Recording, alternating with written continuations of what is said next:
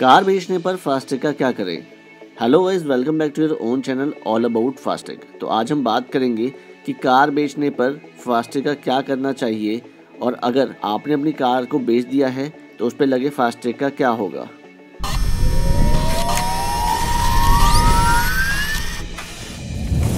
अगर आपने अपनी वाहन को बेचा है या ट्रांसफ़र किया है तो आपको फास्टैग को तुरंत डीएक्टिवेट कर देना चाहिए।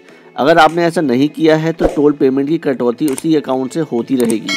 यानी आपके अकाउंट से पैसा कटता रहेगा। दरअसल, टोल पेमेंट उसी सोर्स अकाउंट से कटेगा, जिससे फास्टैग अकाउंट लिंक है। इतना ही नहीं, जब तक आपका फास्टैग अकाउंट लिंक रहेगा तो आपकी कार के नए मालिक को भी कार के लिए नया फास्टैग नहीं मिल पाएगा। क्योंकि एक वाहन से केवल एक एक्टिव फास्टैग को ही लिंक किया जा सकता है। तो बात करते हैं कि फास्टैग को किस तरीके से बंद किया जा सकता है। आप अपने फास्टैग प्रोवाइडर के कस्टमर केयर से संपर्क करें और फास्टैग लिंक अकाउंट को बंद या डीएक्टिवेट करने की रिक्वेस्ट सबमिट करें। फास्टैग अकाउंट बंद करने के लिए सबसे पहले आप कस्टमर केयर की सर्विस पर कॉल करें या फिर आप एन की साइट पर जाके helpline number one zero double three पर भी कॉल कर सकते हैं। अगर आपको कोई भी प्रॉब्लम आ रही है फास्टैग को लेकर तो आप सीधे नंबर पर डायल कर सकते हैं, जो कि है वन ज़ीरो डबल थ्री पर। इस नंबर को केवल फास्टैग के लिंक मोबाइल नंबर से ही डायल करें।